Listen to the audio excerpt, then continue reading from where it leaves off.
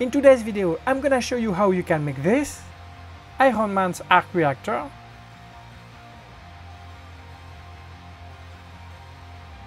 using only some cardboard and a few tools. Let's dive into it.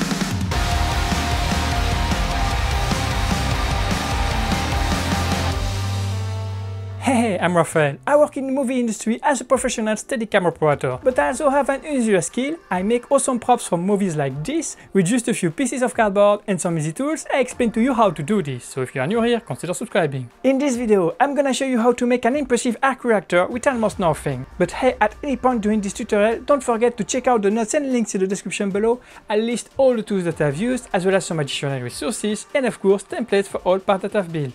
Now, let's jump into the video. Using a precision knife, cut all the pieces from the template, which are linked in the description below.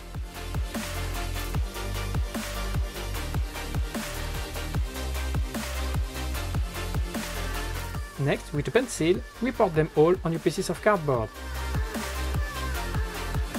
Next, cut all the pieces that way.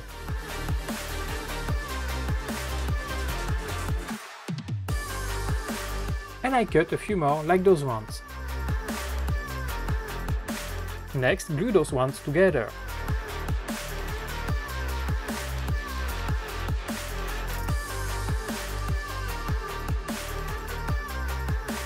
And hide the corrugation using a thin pieces of cardboard.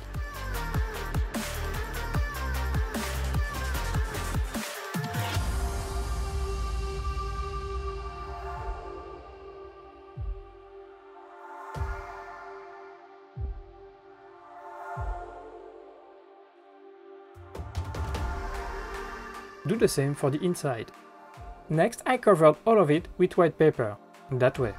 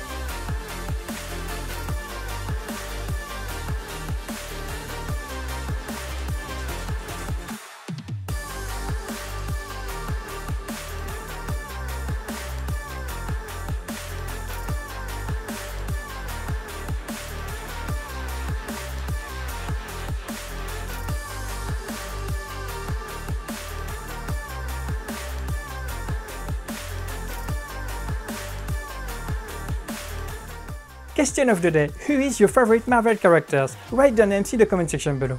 I glued those ones together as well.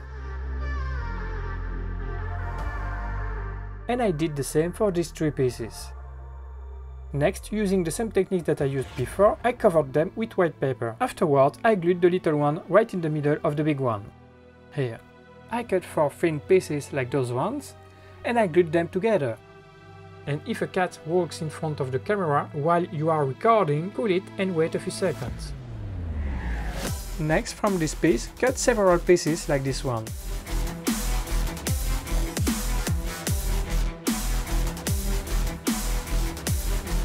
Afterward, with this template which is in the description below, define the position of the wire coils. To do it, put this piece right in the middle, then using a pencil report all the lines on your piece.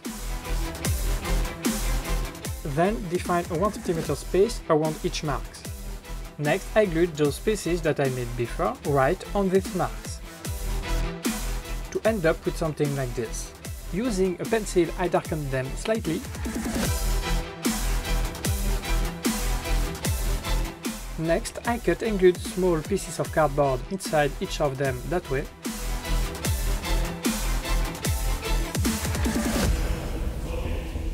Afterward, using grey cardboard paper, I made the wires. To do them, I started by cutting thin strips like this.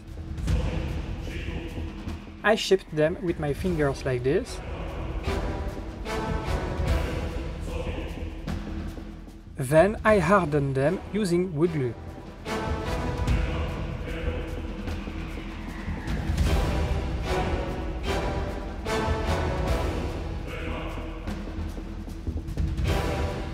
And I glued all of them on it using hot glue.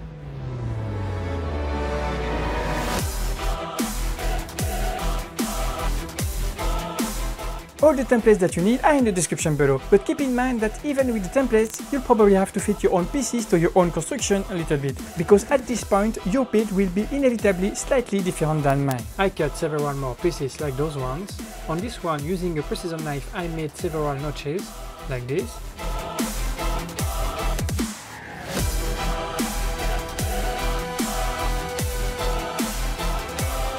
End up with a piece like this. Pay attention to the three empty space here, here and here. Next, I darken the piece with a pencil. I cut three little pieces like this and I folded them that way.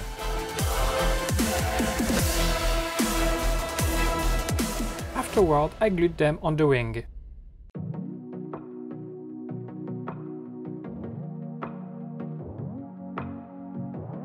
Then, using thin strips of cardboard paper,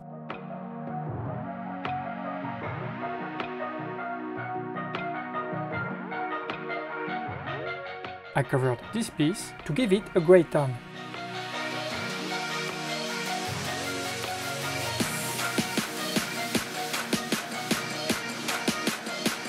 And then I glued it in the middle of this piece. Remove what exceeds if needed, then I glued the whole thing in the middle of the arc, that way.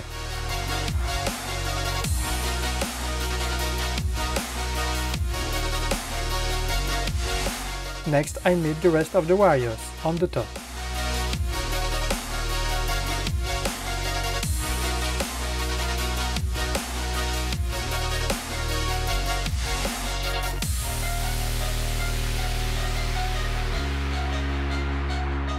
I folded this one that way and I glued it to make a ring. Then, using the same techniques that I used before, I covered it with white paper and I glued it in the middle of this piece. I cut this piece in several smaller pieces to make the fan and I covered them with white paper as well.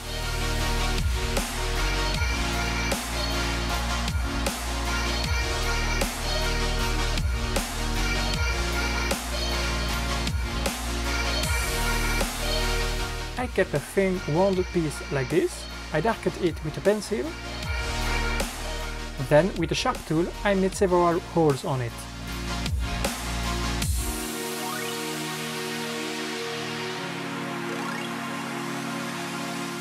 Afterward I glued this little ring on it.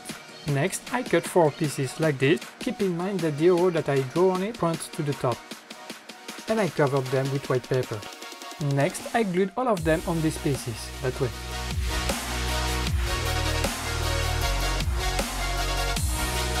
Afterwards, you can glue the two outer rings.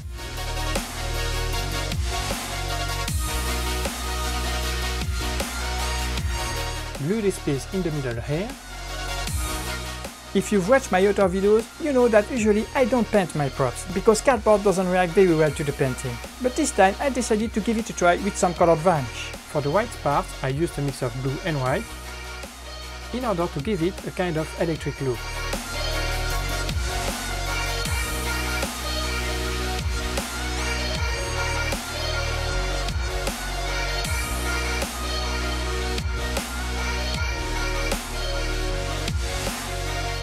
I made another wall like this, slightly thicker than the ones that I used to make the wires, in order to make the bolts.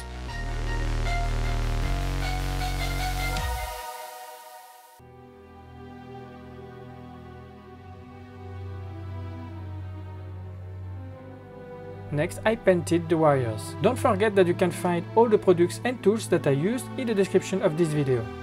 Next, I painted the rest of the arc reactor.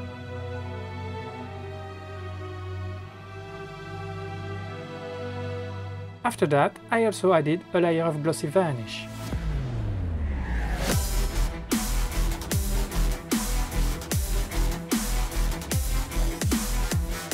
With a pencil, I made marks to define the middle of each cut of wire. I cut several more pieces like this. Then I glued those pieces on the marks.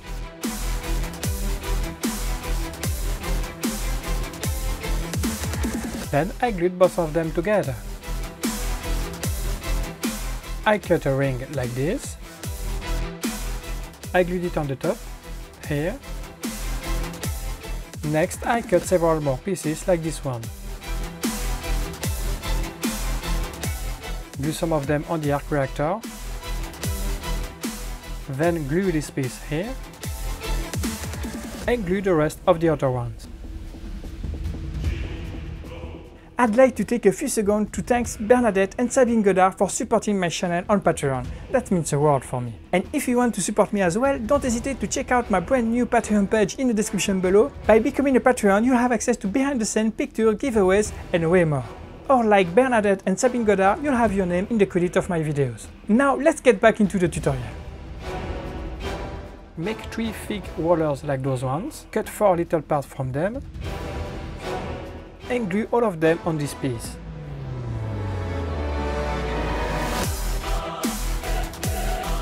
With this piece of cardboard I made another ring, I glued it here, and I glued the other one on the other side, to end up with something like this. I also added a little one here. With the rest of the three wires that I made before, I made the big wires for the back of the arc reactor.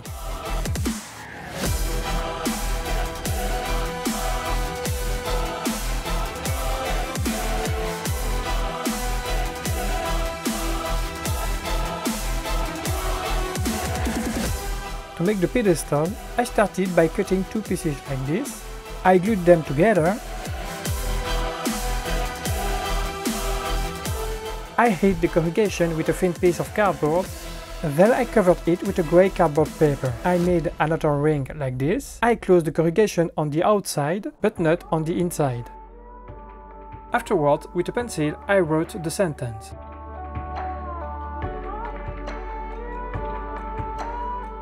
Then, when you are sure about the design of this, you can reinforce the color with a black pen.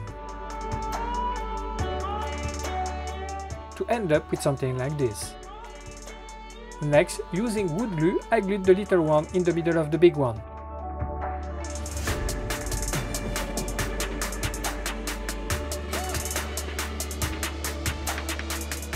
Pay attention to have most of the thickness in the front of it. I cut a few more pieces like this. I glued these ones together.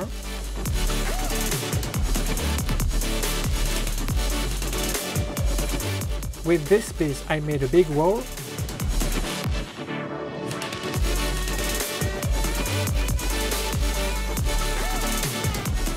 Big enough to welcome the back of the arc reactor. I covered it with grey cardboard paper as well, and I glued it in the middle of this one. I cut another piece like this. I crushed it a little bit. Then, using wood glue, I made a thick wall with it.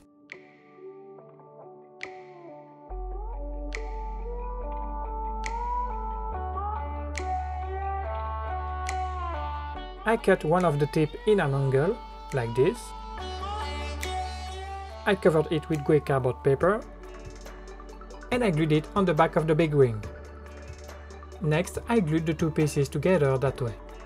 Then afterwards I applied two layers of glossy varnish.